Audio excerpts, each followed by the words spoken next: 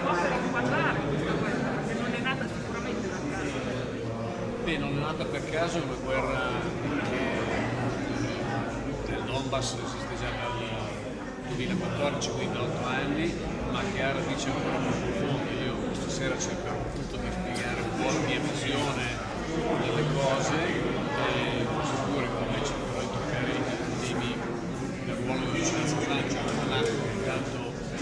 tanto si parla, eh, spesso a sproposito perché si conosce anche poco purtroppo. Io ho avuto essere presidente dell'Assemblea parlamentare dell'anno, quindi conoscere un po' dall'interno certe dinamiche.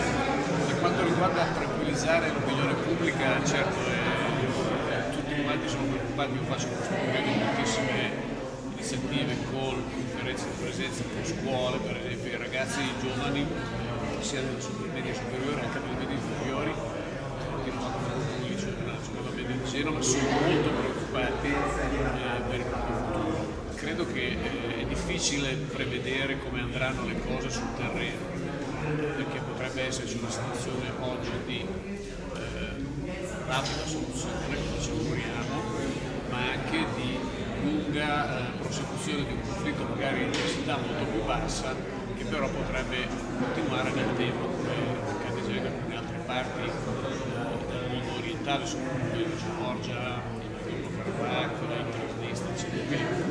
Eh, è difficile prevedere quello che accadrà, è importante però capire le dinamiche e soprattutto noi dobbiamo essere consapevoli che questa, questa guerra causa anche noi e non soltanto per le conseguenze economiche che L'Unione Europea mi sembra che stia cominciando a fare la sua parte.